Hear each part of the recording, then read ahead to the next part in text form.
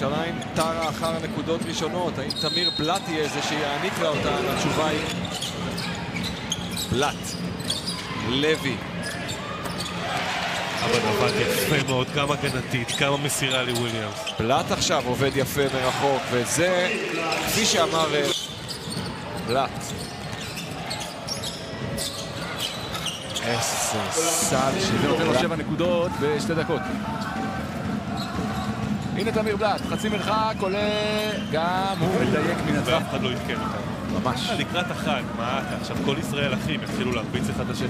כן, אז גם בלאט עולה לשלוש. של הגנה, איך הוא מוציא את המתפרצת. בלאט מסדר את הרגליים, מעדיף לתת לו את ה...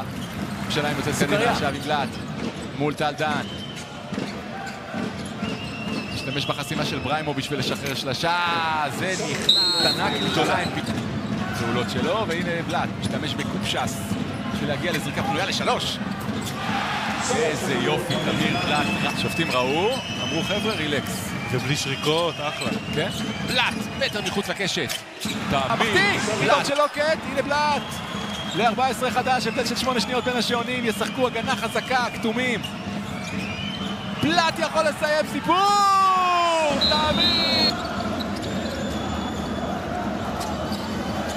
איזה כדור. שמונה שניות להתקפה. הכניס אותו פנימה עכשיו, זלמנסון. יעקובן בראון עם אה, בלאט. לוקח את זה על ווילביקי, ושם את השתיים שלו, נקי וטוב. בלטין משאיר את הכדור שלו.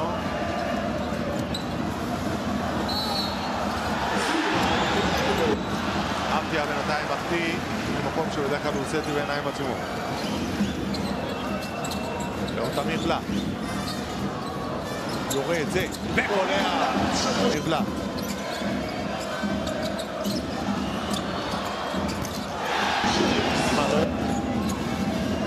תמיר את זה לבלאט, פנימה לבריימו. אין כבר, לא יכול, שומר אותו טוב, בריימו. שש שניות, חמש שניות להתקפה. האם רואה את השעון? איזה כדור! איזה כדור של בלאט!